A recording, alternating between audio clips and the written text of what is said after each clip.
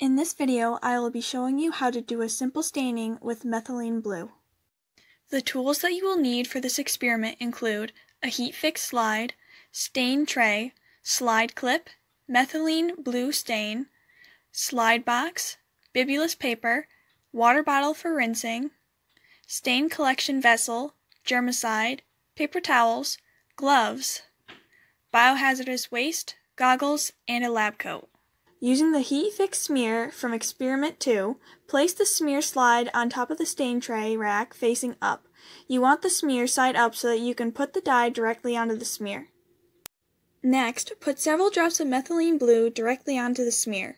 Once you've done that, you let this stand for about one minute.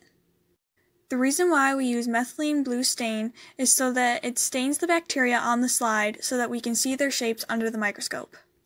Next, you're going to pick up the slide using your slide clip. Angle the slide downward so that the methylene blue stain can run off into the stain tray.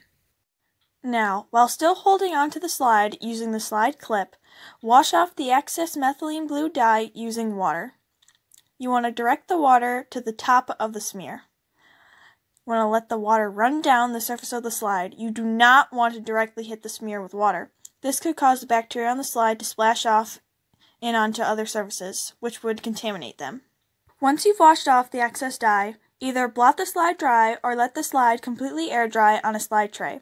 For this experiment, I will be blot drying the slide.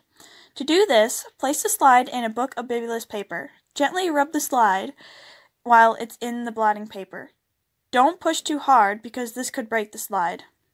After our slide has been blot dried, it will be ready to be viewed under a microscope. When viewing the bacterial specimen, make sure that you are viewing it under the 1000x objective lens. You should see something like this under the microscope. Now that you are done viewing the specimen under the microscope, put the slide in the slide box for later use. Then, Pour liquid from the stain tray into the stain collection vessel for disposal. Once you're done with that, dispose of your gloves.